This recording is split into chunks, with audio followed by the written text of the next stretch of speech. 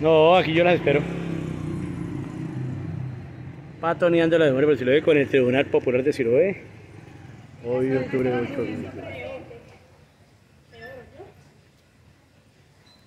Ya nomás que le queda una cuadrita ya. Ahí están los carros y llegamos.